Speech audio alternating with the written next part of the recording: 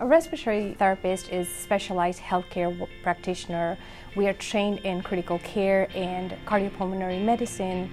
We are so specialized in advanced airway management that when a patient is crashing, we are the first one to be called to manage ET tube and ventilators. We're quite proud of the amount of clinical time that our students attain upon graduation. Our students have the unique opportunity to put into practice what they're learning as they're learning it each and every semester in the hospital setting. Our resources for our program are among the best in the nation, really.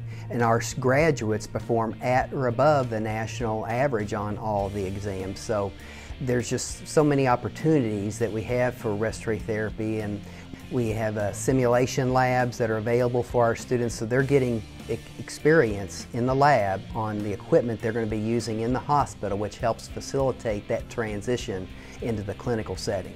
The professors genuinely care about your success as a future RT. You get a lot of hands-on experience at the local hospitals here. You build real lasting bonds with your classmates, which is awesome. I am currently a respiratory therapist student. You know, I love healthcare. I love people. We don't really wear a cape, but in that instance, you are wearing your cape.